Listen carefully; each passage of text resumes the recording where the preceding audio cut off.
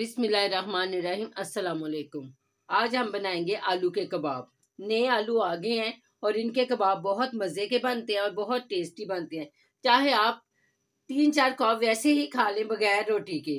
तो ये मैं कबाब बना रही हूँ। एक किलो आलू ले लिए और इनको मैंने क्या करना है? इनका छिलका नहीं उतारना। बहुत मिट्टी ऊपर लगी हुई थी। मैंने उन्हें एक बार साफ़ कर लिया और एक बार और साफ़ कर लेंगे। इस तरह हमने इनको दो दो करना है। और इनको दो दो करने के बाद इनको धो लेना है। ये मैंने आपको दिखाना था, इसलिए मैंने ऑफ़ कैमरा इनको बॉयल नहीं किया। ये देखें, इस तरह दो दो कर ले और छिलका साथ ही लगा रहने दें।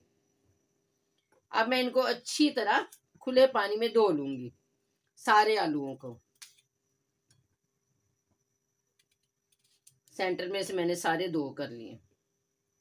चलिए, अब मैं इनको धो के लेकर आती हूँ, फिर आपको दिखाती हूँ। इस तरह अंदर से चेक हो जाते हैं कि सारे आलू ठीक है। चूल्हे के ऊपर मैंने एक लीटर पानी रख दिया और इसमें हम एक टीस्पून फुल भर के नमक का डाल देंगे। और इसमें सारे आलू डाल के इनको बॉईल कर लेंगे। गलने तक बॉईल हो जाएँगे तो फिर आगे आपके साथ वीडियो भी शेयर करेंगे, बातें भी करेंगे, मज़ा आ जाएगा। सारे आलूओं को मैंने हल्की आँच पे बॉईल कर लेना गलने तक। चले। ये सारे आलू मैंने इसमें डाल दिए। सारे आलू बॉयल हो गए और इनका आराम से छिलका हमने इस तरह उतार लेना है। सारा छिलका बहुत इजी उतर जाएगा। मैंने ज़रा ठंडे कर लिए वरना बहुत गर्म थे। और एक बर्तन में मैं ये सारे आलू छिलका रिमूव करके डालती जाऊँगी। आधे कर, आधा करने से एक एक आलू को एक तो जल्दी गल गए हैं और छिलका भी जल्दी से उतर रहा है।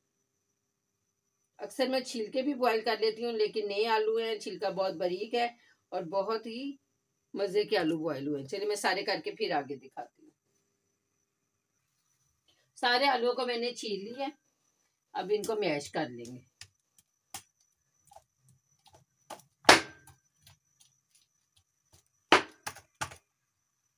ये सारा मैंने मैश कर लिए। अब इसमें हमने डालने हैं मसाले।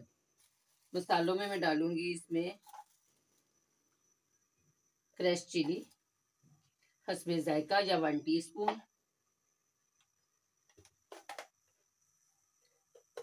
नमक बॉईल करते हुए डाला था हाफ़ टी स्पून बस नमक डालेंगे।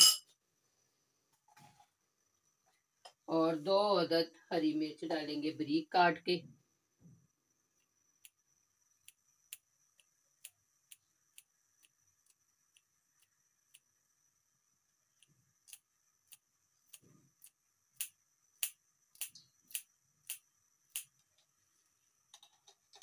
अब आप सोचेंगे कि मेरे बच्चों को क्यों पसंद है? इसमें क्या खास बात है? इसमें मैं डालूँगी एक, यानी कि हाफ़ प्याली हरा प्याज और हाफ़ प्याली ही बॉईल किया हुआ चिकन ये भी इसमें डाल देंगे।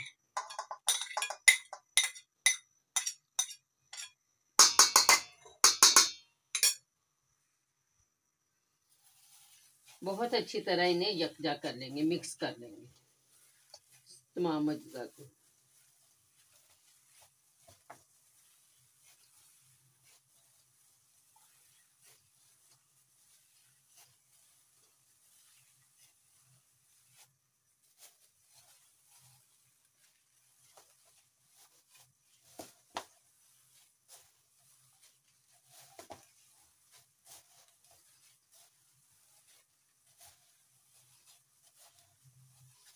चलिए ये सारा मिक्स हो गया।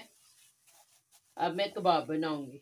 छोटे बड़े जिस साइज़ के भी आप बनाना चाहते हैं तो बना लें।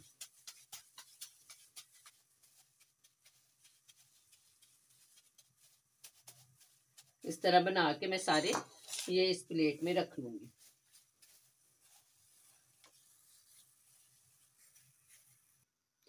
सारे कबाब मैंने बना लिए हैं, इन्हें साइड पे रखेंगे, आप एक अंडा फेंट लेंगे और उसमें क्या डालेंगे, आपके सामने ही डालेंगे।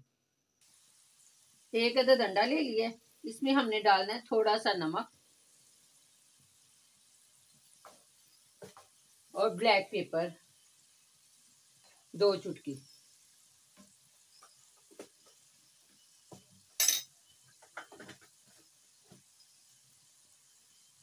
इसको फेंट लेंगे अच्छी तरह।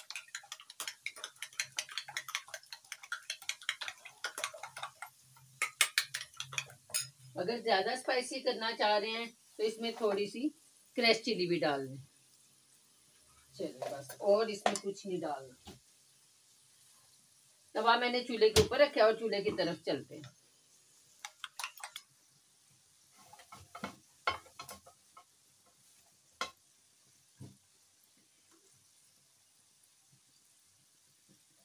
चार से पाँच टेबल स्पून ऑयल डाल दिया मैंने।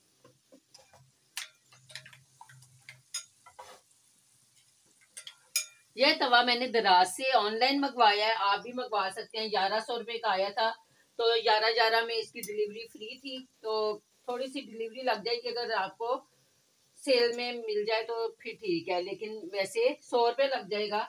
ग्यारह सौ रुपये का आया था ऑनलाइन कुछ लोगों ने पूछा था, मैंने कहा जिस दिन वीडियो बनाऊँगी, उस दिन मैं इसके बारे में भी बता दूँगी। नॉन स्टिक से बहुत बेस्ट है, कि इसका उतरना नहीं, ये सिल्वर का है तवा लोहे का नहीं है ये। चलिए, अब मैं सारे कबाब आराम से अंडे में डिप कर करके इस पे रखती जाऊँगी। और आपके सामने ही इन्हें पलटेंगे।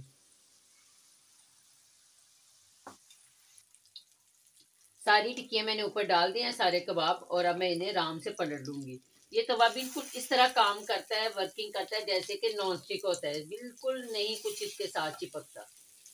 तो अभी मैंने पलटी नहीं थी। आपके सामने ही सारे कबाब पलटे हैं। गोल्डन कलर के दोनों साइडों से मैंने अच्छी तरह इनको कर लेना है। आप देख रहे होंगे कि जरा भी नहीं, ये चिपक रहा साथ।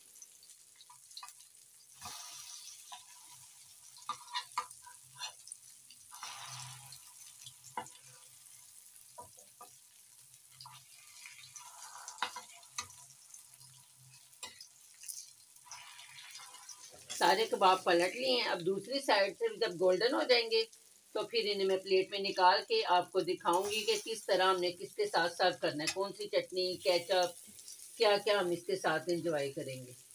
चलें। अब इनको मैं हल्की आँच पे अच्छी तरह गोल्डन होने दूँगी। ज़्यादा तेज़ आँच पे जलाने नहीं है, इनको हल्की आँच पे ये फूल फूल के बन रहे हैं।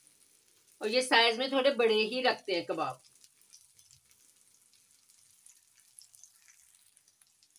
देखिए, सारे कबाब फ्राई हो गए और इन्हें मैं प्लेट में निकाल रही हूँ। तो दावत पार्टी में भी आप नगट्स की बजाय ये भी ट्राई करें, सबको बहुत पसंद आएँगे वेजिटेबल के कबाब। सारे कबाब रेडी हो गए, प्लेट में निकाल लिए, इसके साथ मैंने चपातियाँ बनाई हैं और साथ ये धनिए और हरी मिर्च की चटनी बना ली है। धनिए की और हरी मिर्च और थोड़ा सा नमक डाल के इसकी बहुत प्यारी सी चटनी बनी है। इसके साथ केचप भी आप ले सकते हैं। इस चटनी में मैंने पुदीना नहीं डाला, खाली धनिया और हरी मिर्च है। तो ये देखिए, कितनी अच्छी चटनी बन गई है। सात रोटियाँ ले ले, पराठा ले ले, नान ले ले, कुछ भी ले ले, नान टिक्की भी बहुत मज़े की लगती है। बनाए इंजॉय करें, मुझे दो में याद रखें, मेरे चैनल को सब्सक्राइब करें, वीडियो को लाइक करें। शुक्रिया, अल्लाह हाफिज।